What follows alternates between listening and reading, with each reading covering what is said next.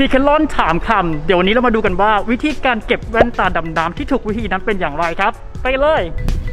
สวัสดีครับ สวัสดีครับครับผมอันนี้ผมอยากทราบวิธีการเก็บแว่นตากันนะดำน้ำเนาะในช่วงแบบโควิด เราไม่ได้ออกจากบ้าน อ่าเรามีวิธีการใช่ เก็บอย่างไรครับผม อย่างแรกเลยนะครับหลีกเลี่ยงแสงแดดครับเลยเป็นอันดับแรกเพราะว่าแสงแดดเนี่ยมันจะทำให้ซิลิโคนเนี่ยเสื่อมคุณภาพได้อย่างรวดเร็ว อย่างที่สองก็คือสีจากแว่นตาดำน้ำสวยๆเนี่ย จะกลายเป็นก็จะสีจางใช่ไหมสีก็อาจจะอ่าจางซิลิโคนก็อาจจะเปลี่ยนสีได้แนะนำเลยนะครับ อันนี้เป็นทริคเลย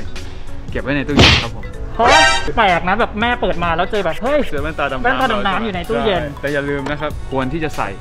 กล่องแบบนี้ก็คือกล่องที่เราได้มากับแว่นตานั่นแหละครับผม เพราะว่าตู้เย็นเราเนี่ยมีกลิ่นที่ไม่พึงประสงค์ครัอบยู่ในนั้น เราไม่อยากให้เวลาเราลงไปดำน้ำเนี่ยมีกลิ่นกับข้าวอยู่ มันก็รู้สึกหิวแล้วใช่ หิวอยากกลับบ้านไปกินข้าวฝีมือแม่ของเรา ขอบคุณมากนะครับสำหรับดีแคลอนถามคำต้องขอลาไปก่อนครับ สวัสดีครัสวัสดีครับ บ